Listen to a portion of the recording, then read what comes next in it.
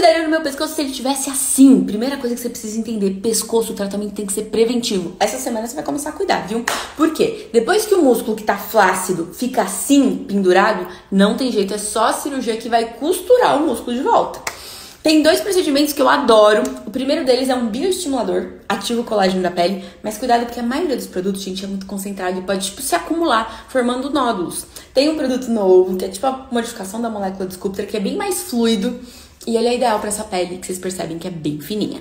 O segundo deles é o ultrassom microfocado. Lembra que eu falei para vocês que aqui é tipo pele, gordurinha e músculo? O ultrassom ele faz micropontinhos que meio que fritam e reposicionam o músculo. Então eu brinco que é colocar o músculo de volta. Eu faço em mim duas vezes no ano.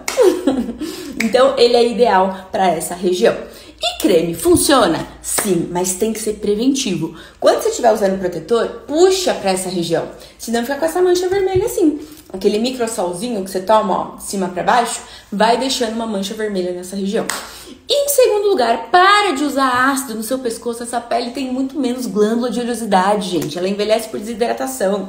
Foque em hidratante. Esse aqui, inclusive, tem a imitação do hormônio feminino. Eu adoro. E o ácido, você vai usar assim, uma vez por semana nessa região. E só. Combinado? Quem é se incomoda com o pescoço e o que vocês fizeram para ajudar?